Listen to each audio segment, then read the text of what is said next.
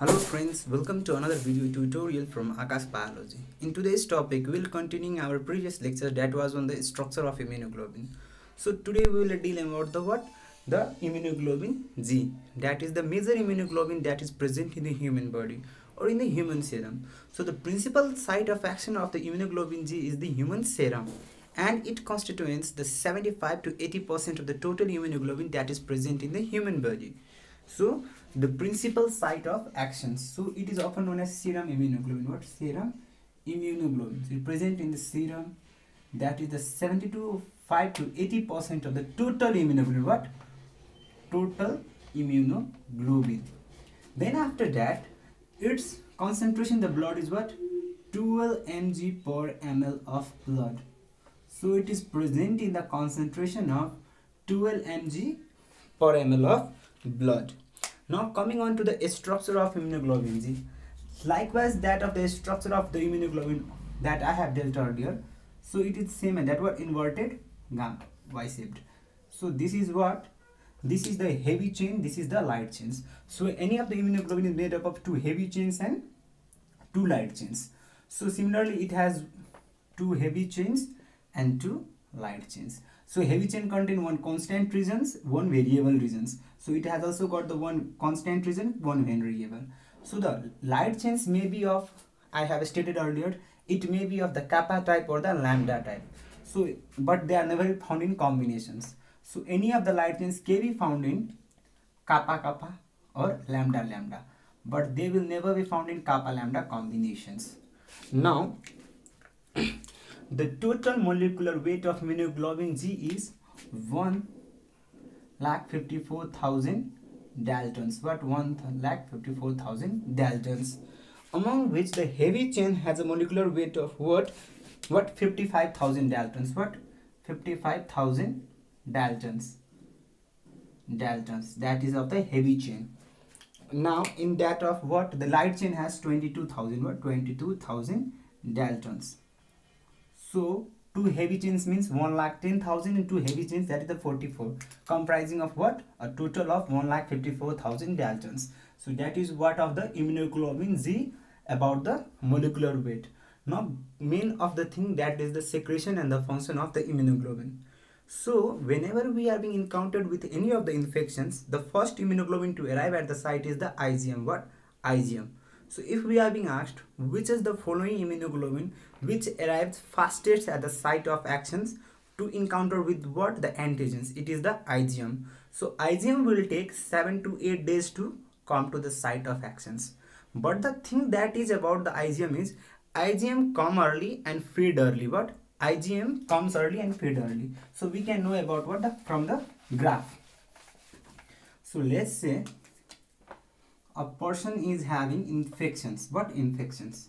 So level and the immunoglobulin. What? Immunoglobulin. So whenever a person is being what? Uh, encountered with the what? The infections then first is rises what? The igm what?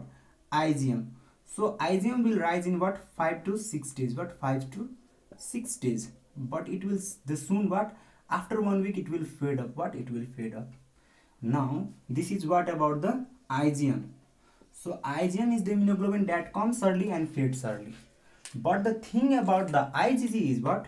IgG will rise lately. What? Rise late and will persist till the infection is there. So it is what? IgG. That is a two weeks after infection generally. So IgG is the main immunoglobulin that is providing what adaptive, what the cell mediated or the adaptive immunity or the secondary immune response. Secondary immune response. So if we are deficient of IgG then we will never be cured of any of the thing because this is the immunoglobulin or the IgG immunoglobulin that helps us to fight with the infection during the prolonged illness or the chronic illness because just IgM comes and fades away in a short duration of time. So it mainly comes about one week and persists up to two weeks. So it will be gone. So the main thing that will persist is the IgG.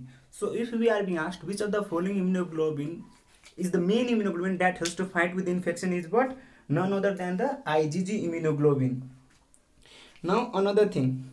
and for the formation of for the action of igg it requires what t cell help what t cell help that is the cell mediated immunity help.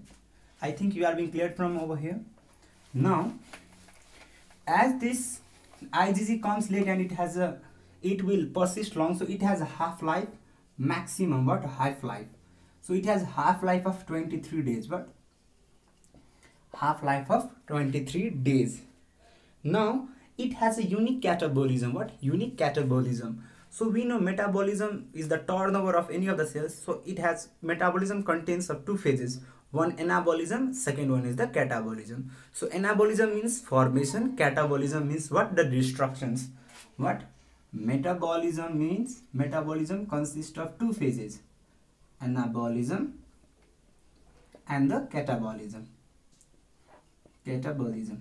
So it means formation and it means what the destruction. So the IgG has a unique phase of destruction or the catabolism. So it has a unique catabolism. How it is unique? It has a unique catabolism that we will know. So its catabolism can be understood from the, this. So let's say this is the body or the serum. Serum and this is the what? Serum or in the body parts.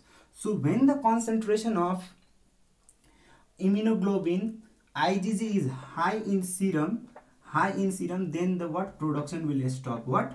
The production stops. So it acts through a feedback mechanism. Whenever its role is high let's like, like our body. So when our tummy is full then our satiety center will not have any hunger like perceptions. But when our tummy is empty it has a pouncing like action crunching like action then our the hunger center will say your body has to feed similarly in the igg if its level in the serum is high then production decreases. What? Production decreases. Then what happens? For acute thing what? So if we are suffering from any types of prolonged illness like as the multiple myeloma or the kala so all of the uh, preformed immunoglobulin G will come into the serum. So it will tell the body to reduce the productions. So after some time what happens? In the serum it will it will be what? Destructed but at the same time the production is low. So it will forming what? The prolonged illness but prolonged illness because our body is thinking we have evident amount of IgG in the serum and it will not be producing it. I think you hope you are clear. Second second thing when there is a hypogamma globulinemia what? Hypogamma globulinemia. Globulinemia conditions means there is a decrease in the synthesis of IgG immunoglobulin in our body. Let's say any of the following conditions. Now if we administer IgG from outside then it will be catabolized very less. So the what the catabolism becomes slow so similarly our body ha has a brain. Similarly all of the gamma globulinemia has also had brain. So here our body is deficient of igg so when we passively administer igg then igg will be catabolized rapidly because our body does not have enough stores so it is catabolism is unique in the form because it has a feedback mechanism. What feedback mechanism? Means one thing is let's say this is the brain and this is the what? Synthesis center. What synthesis center and this is the consumption so whenever the consumption is high or the, the concentration is high let's say is the stores. So whenever is the high then synthesis stops. Whenever this is low then synthesis increases. Simpler thing. And it has major implications in the case of erythroblastosis fetalis how it happens let's we discuss. So all we know about the erythroblastosis fetalis what erythroblastosis fetalis. So it is a condition let's say rh positive father marriage with the rh negative mother. Rh positive father rh positive father. So they have a child. What child? So child will become also what? The rh positive. So there is what circulations from here to there so as the Rh positive blood will pass to the Rh negative mother, so Rh negative mother will form what? Antibodies. What? Antibodies. So first child will be normal, but when the second child will be born, so the preformed antibody in the Rh negative mother try to what? agglutinate or the clump or want to destroy the rbc of the child and child will be stillborn so in order to prevent these conditions what we are doing we are injecting igg what? Igg immunoglobulin to the mother. Now the immuno now the body is store of the rh negative mother thinks i have evident amount of igg so the production of igg will be stopped. What? The production of IgG that is the natural form will be stopped. And the IgG we are that we are administrating into the what? I, Rh negative mother is being modified so that it will not cause harm to the child. यसको मतलब RH negative मदरमा के थियो कि first child जन्मिसकेपछि उसकोमा त antibody formation भइसक्यो यसको प्रति चाइल्डको प्रति। सो हामी के गरेको छौँ आइजिजी आफ्टर सम मोडिफिकेसनभित्र हाल्यो भने यहाँ स्टोरमा त बढ्छ आइजिजी तर यो आइजिजी के छ मोडिफाइड छ? नेचुरली के हुन्छ? जुन आइजिजी फर्म हुनु चाहे त्यसको कन्सन्ट्रेसन के भयो घट्यो। यानि आमाले आफूले प्रोडक्सन गरेन। And the child will be spared So this is the major implications of the Ig immunoglobulin. And again, it is the only immunoglobulin that is crossing the placenta. It is crossing placenta. As it is crossing placenta, so it will provide what? Naturally acquired, naturally acquired passive immunity. What? Passive immunity. Immunity. Similarly, let's say this is the what?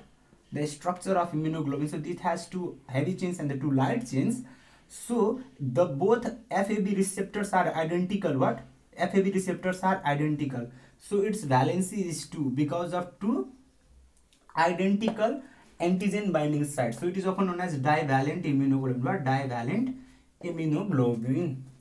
Now, as we have stated earlier from our previous video, that the immunoglobulins are subdivided into various types on the basis of what the heavy chains. Heavy chains what? On the basis of the heavy chains.